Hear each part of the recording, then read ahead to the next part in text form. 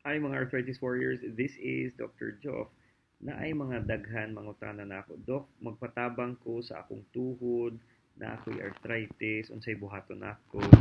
Na say uban na mangutana na ako, Dok, na ako'y injury sa akong tuhod, kagikan sa basketball, unsa may angay buhaton nako.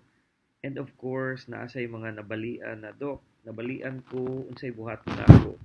Well, I have different patients na magpatabang. And because of this, akong gihimo-himo ang lain-lain na klase na grupo na atay for the arthritis warriors nato hip and knee arthritis Philippines akong ibutang ang link dire sa atong post na asa ikaduha na group na ACL Reconstruction Community Cebu if na kay injury, posible gikan sa volleyball, basketball, or sports na na-injury imong tuhod, akong ibutang ang link below para makatabang ang grupo sa atong mga ACL reconstruction na community Cebu para sa mga tao na na-injure ang tuhod mga from basketball or sports injuries.